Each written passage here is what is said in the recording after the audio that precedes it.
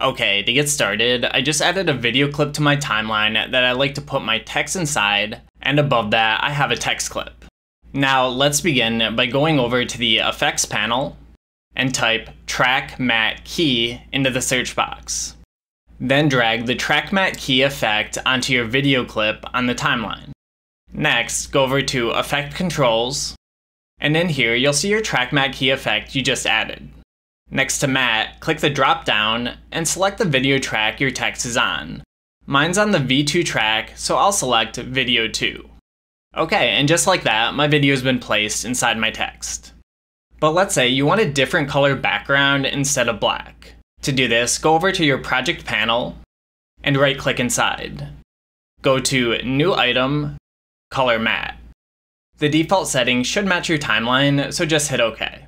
Then simply select the color you want from the color picker box and hit OK. You can give yours a name if you'd like, I'll just name mine white. Okay, and there I added our color matte to the project panel, but before we use it, you'll need to drag to select your video and text clip on the timeline, and then drag them up one track. Now, drag the white clip below the other clips.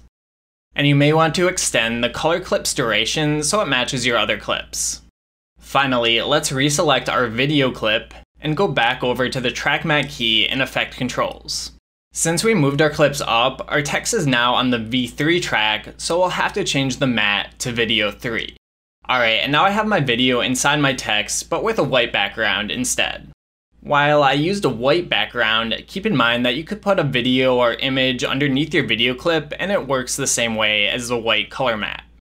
That's it for this tutorial, but before I go, I'd like to thank Envato Elements for being a friend of the channel and sponsoring this video. Today, we've partnered up to give you guys 70% off your first month of Elements. You can check it out by clicking the link below in the description. With Envato Elements, you get unlimited downloads to a massive library of Premiere Pro effects, transitions, sound effects, music, and so much more that you can use in your videos without worrying about copyright.